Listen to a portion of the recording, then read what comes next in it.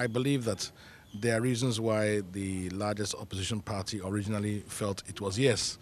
So uh, they should determine and find out why they have moved from that yes position to a no position and convince them in, with the force of their argument why it should be yes. What does the CPP think? The, CPP, the highest body of the CPP held a meeting. Uh, throughout our, our, former manifestos, we had always been for yes for the election of um, uh, MMDCEs. However, as you know, the only difference on this occasion is that they are adding the fact that it should be partisan at the local level. In fact, just before even coming here, I spoke to the former MP of Kumbungu, uh, who, as you know, is a CPP man. The seat was held by the CPP.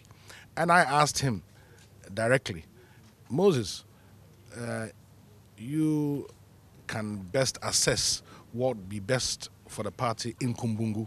And he made it very clear to me that a yes vote would be in the interest of the party.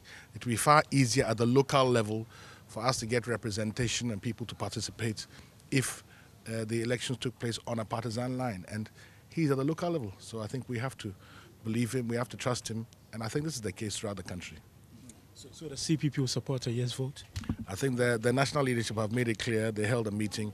It is for a yes vote. However, you can see that if the vote took place today, uh, it would be no.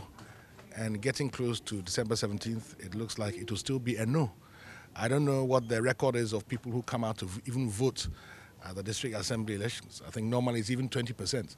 Now 40% are required to come out and vote. Out of that 40, 40%, 75% are supposed to say yes. I think it's a very difficult task, a very tall order. The likelihood is that no will prevail. The NDC cited monetization and polarization of Ghana's policies as the reasons they wouldn't support um, uh, they wouldn't support a yes vote. What would what's the CPP saying about some of the reasons that NDC has given that our, our politics is already polarized and we can't afford to take this to the district level? Well, I think it is it is the NPP and the NDC who are specialists at monetization, and they have rather introduced that into our body politic over the last 26 or 27 years. That is why Ghanaians are tired of them. And the, the Ghanaians, wherever you go, say they are tired of NPP and NDC.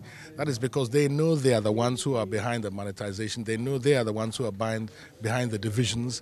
They know they are the ones who are um, serial and repetitive um, corruption specialists. And so they are tired of them.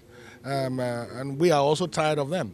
But we have to become stronger, more organized, and more united to uh, demonstrate to Ghanaians that we are a, a better alternative.